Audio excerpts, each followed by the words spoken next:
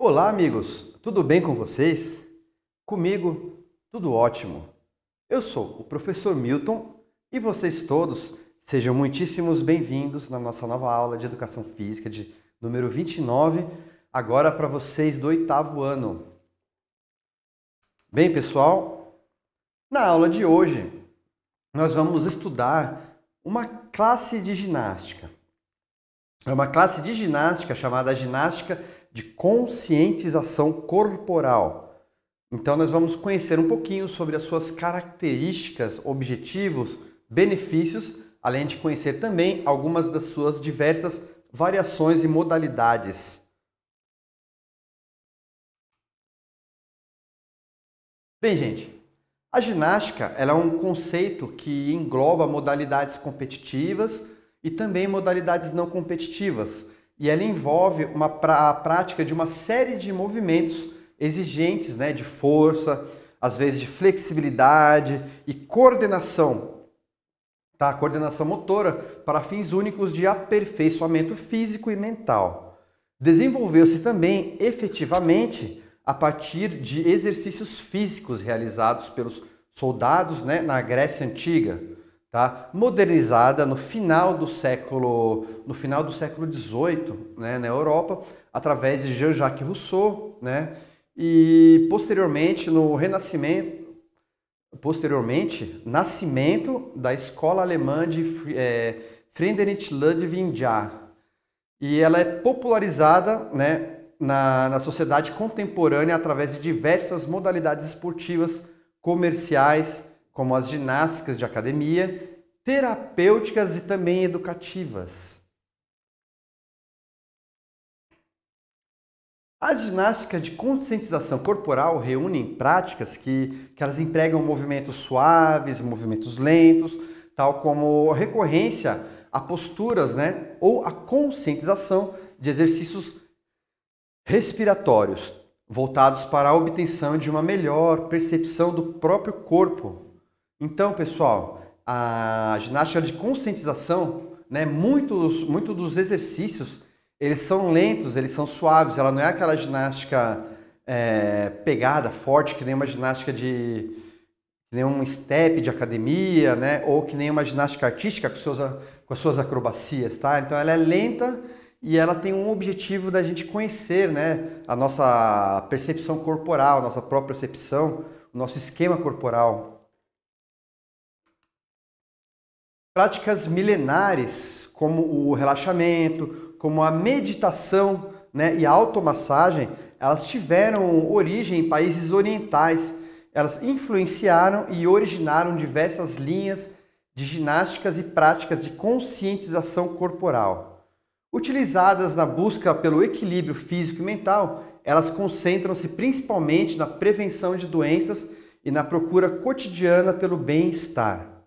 O autoconhecimento das sensações, das percepções corporais, ele permite a identificação de alguns desequilíbrios, né, que identificados precocemente, quando a gente identifica algum problema, quanto mais cedo a gente identifica é, algum problema, mais cedo nós podemos tratá-lo, evitando a manifestação de doenças. Por exemplo, se eu tenho o mau hábito de, se, de, de sentar na cadeira, né? Eu vivo corcunda, é, eu começo a sentir dor no, no braço, nas costas, né?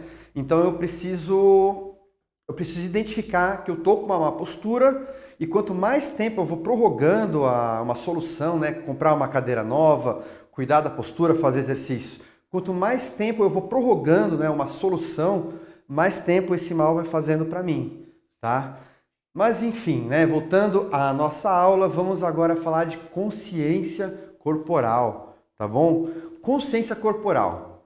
Você já notou quando a sua postura estava errada? Você já sentiu dores nas costas ou nas pernas em função do trabalho ou da escola, né, ou dos estudos? Percebeu que estava com os ombros tensionados? Tudo isso faz parte da nossa consciência corporal é por meio dela que nós percebemos todo o nosso corpo. Em outras palavras, nós sentimos e entendemos os movimentos, o que ele realiza, o seu limite, a sua capacidade física, assim como os sintomas da má postura, né? E a falta de atividade física eles também causam, a gente também sente, tá? Olha, eu estou com os olhos fechados, tá? Mas eu sei que meu braço está é, dobrado e virado para cima, ó. Eu sei que o outro braço está dobrado e virado para frente. Eu não preciso enxergar, eu conheço os movimentos do meu corpo. Isso se chama propriocepção e, lógico, a grande maioria dos seres humanos tem. Se existe alguma doença ou alguma coisa que a pessoa não consegue é, ter uma é, propriocepção debilitada, eu não poderia informar agora, tá bom, pessoal? Mas ela é muito importante e todo mundo tem praticamente, né?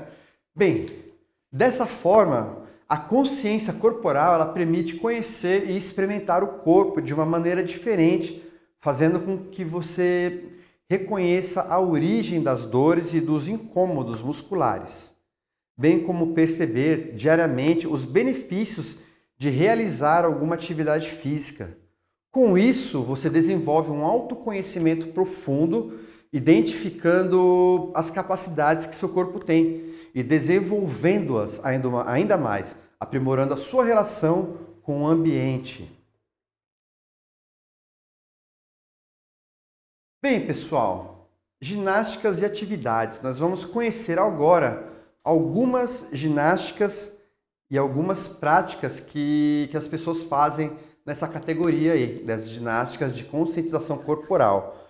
E olha, muitas são descendentes da, do Oriente, né? Por exemplo, aqui a gente vê uma ilustração de um trio fazendo yoga. Tá? Então são três mulheres fazendo yoga. Vamos conhecer o relaxamento. Relaxamento ele é uma ação corporal cujo objetivo é romper as tensões físicas, as tensões mentais e emocionais do dia a dia. Né?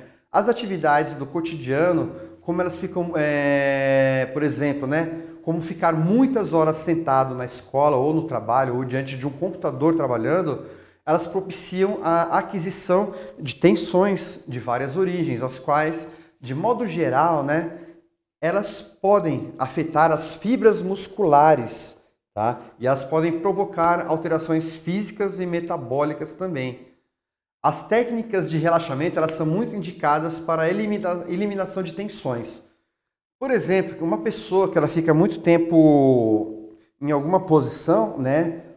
Ela precisa, bem, a musculatura dela vai acabar ficando mais tensionada, mais machucada. Então ela precisa de um trabalho de relaxamento que pode ajudar, né, a postura dela a voltar a uma normalidade ou quase.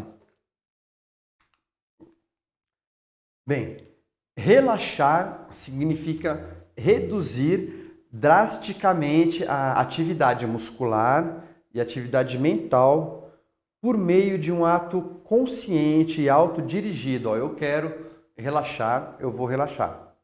Tá? Então ele é consciente, né? É, diferentes técnicas podem ser usadas nessa prática e de modo geral elas são aplicadas em locais tranquilos, né? Com ou, ou em silêncio ou com uma música ambiente, tá? É, os seus adeptos eles devem vestir roupas confortáveis, tá? E eles devem prestar atenção na respiração, tá? Procuram um relaxamento das tensões e das diversas partes do corpo. Agora nós temos a automassagem. A automassagem ela é uma prática que relaxa e auxilia na manutenção da saúde. Como o termo sugere, né, trata-se do ato de massagear a si mesmo, promovendo conforto pessoal é, diante de situações corriqueiras, como sensação de alívio depois do uso de um sapato apertado, por exemplo, né? Quando a gente tira aquele sapato e vai dar uma massageada nos pés, por exemplo, ou quando a gente se machuca, né? Às vezes a gente até mesmo dá uma faz uma massagem algum, alguma parte que a gente esbarrou, bateu, por exemplo, né? É, então, ela é realizada, a automassagem, né, com auxílio de acessórios. Então, você pode usar aquelas bolas. Tem uma bola que a gente põe no, no chão e fica girando para a gente fazer uma massagem na bola do pé, por exemplo, né? Uma bola cheia de pontinhos de plástico, tá, gente? Então, é bem, bem gostoso também, né? É... que mais? Tem bambus que também usam para massagear os pés ou as costas, massageadores, inclusive tem um elétrico que você pode que ele mesmo vibra, você põe um automassageador, um massageador elétrico, você põe no seu corpo e ele vai vibrando e relaxando seus músculos também, né? Mas as pessoas podem usar apenas as mãos, tá? Para fazer massagem. É... Esse tipo de ginástica ativa a circulação sanguínea, diminui as dores musculares e alivia as tensões, né? As tensões físicas e emocionais também. Vamos conhecer agora o yoga, tá? Yoga ou yoga com Y ou com I é um conceito que se, que se refere às tradicionais disciplinas físicas originárias da Índia. A palavra ela está associada às práticas meditativas, costuma ser associado tipicamente com o Hatha Yoga e as suas asanas, né, posturas, ou como uma forma de exercício a palavra sânscrita yoga tem diversos significados e ela deriva da raiz tá? yud, que significa controlar, jungir, unir ou concentração. Um ou uma praticante avançado de yoga é chamado de yogi. Pessoal, conheço pessoas, eu tenho um, um primo, se não me engano, que inclusive eles foram para a Índia conhecer as raízes dessa, dessa dessa modalidade, né, dessa, dessa ginástica, desse, dessa terapia. Inclusive, eles ganham alguns nomes diferentes lá. Mas, continuando a nossa aula, vamos conhecer o Pilates. O Pilates ele é um método de condicionamento físico criado na Alemanha na década de 20, né, de 1920, na outra década de 20. Tá? Nós já estamos em 2021, também estamos na década de 20 agora, né? Então, ele é indicado para re reabilitação física, condicionamento físico geral e bem-estar. Os exercícios físicos condicionam e energizam. O método ele promove harmonia e balanço muscular para todas as idades e níveis de condicionamento físico, já que a atividade é direcionada às necessidades individuais da pessoa. Pessoal, o, o Pilates é uma ginástica cara de ser feita, de ser realizada, mas ele é muito funcional, ele é muito bom em relação aos resultados posturais que ele, que ele adquire, né? É bem diferente, um pouco diferente de um, de um treinamento de academia. Você tem mais individualidade, vocês, os exercícios são mais voltados para a sua postura mesmo. Mas vamos agora de ginástica natural. A ginástica natural ela possui os conceitos e fundamentos de métodos de séculos passados ela é fundamentada nos movimentos naturais do homem primitivo e nas atividades em contato com a natureza. No entanto, seus exercícios para serem praticados ao ar livre, né, e nas aulas para ambientes fechados, eles foram desenvolvidos e adaptados de uma forma única e com influências dos esportes praticados por Álvaro Romano, que era o seu criador. Com uma movimentação constante e várias combinações de movimentos, a ginástica natural tem como base a movimentação no solo do jiu-jitsu. Os exercícios de força com, com peso do próprio corpo, técnicas de alongamento e flexibilidade de forma dinâmica. Né? Dinâmica é aquela flexibilidade com movimento que a gente faz movimentando o corpo, tá? Acrescidos, lógico, de técnicas de respiração. E aí é que a gente vê né, o, o criador da, da ginástica natural. Tai Chi Chuan. O Tai Chi Chuan tem as suas raízes na China, sendo atualmente uma arte praticada no mundo todo. Ele é apreciado no Ocidente, é, especialmente pela sua relação com a meditação, né? o Ying Dao Ying, e com a promoção da saúde, oferecendo aos que vivem nas grandes cidades uma referência de tranquilidade e equilíbrio.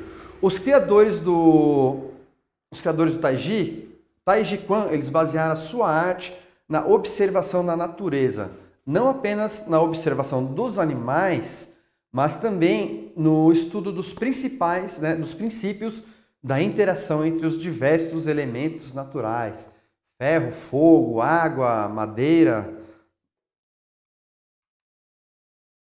Então, pessoal, e agora para concluir a nossa aula de hoje, né? Vocês imaginavam quantas opções e variações de atividades existiam nessas ginásticas de conscientização corporal?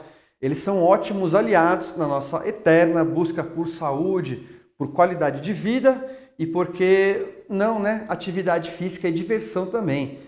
Eles foram citados alguns exemplos de ginástica de conscientização corporal nesse texto. Vocês conseguem descobrir outras? Façam as atividades propostas para a aula de hoje, mantenham-se ativos e tenham uma ótima semana de estudos.